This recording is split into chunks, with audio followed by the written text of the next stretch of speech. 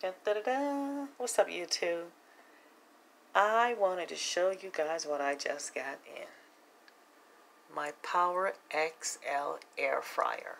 Oh, check it out. Isn't that nice? This is a basket area.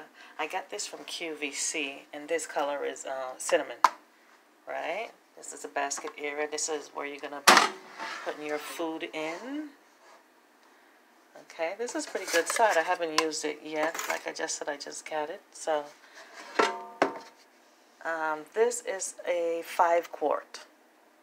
This is a five quart basket, and this is the little tray that you sit the food on. Okay, that comes out for easy cleaning. And those little things, those little grippers, look like they're made of silicone. That's so the basket just stays sturdy in there, doesn't move around. Pretty good. Okay, this is nice. Push that back in. That's easy. Okay, that beeping sound was the power button. Well, this is the power button. Um, let's, let's see. Okay. So there's a lot of different features it comes with. It has um, temperature control over here. Um, I think these are fries. I don't have my glasses on. Oh, oh yes I do. They're on top of my head. Duh. That's not good. Anyway, this is for chicken. These are for, uh, this button is for seafood. This look like some little lamb chops or pork chops. Is this dessert? Is that a cake? You can, you can make cake? Right? And, and I think this is an orange. I don't know what that is. I know this is a pizza that's fish. And this is the timer over here. This is nice.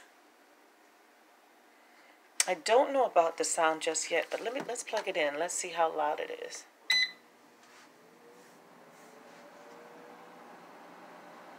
Okay. That's not too bad. It's not annoying. The sound is nice.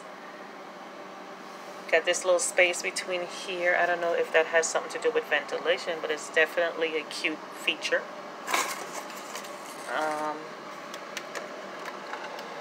let's see. Oh, that's a little bit. So make sure wherever you decide to set it up, it has enough um, space and room for the vent so nothing blocks it or clogs it up. I don't know if I should be running it while nothing is in there. I don't think anything will happen, but I'm going to go ahead and stop it right now.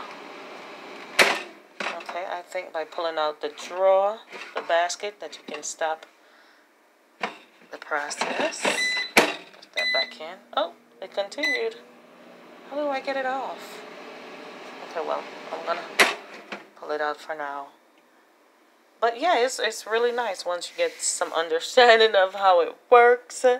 I'm going to go study my uh, manual. You know, sometimes we try to just do it without reading a manual and we skip a few steps. But it's always best to go through the manual. This is the cookbook. It comes with this little uh, pamphlet uh, cookbook with a few different recipes. You got fry, uh, you got fish sticks, garlic knots, hot wings. And then you got the quick start guide, and then it also comes with the um, owner's manual. So just go through it, but I give it a definite thumbs up.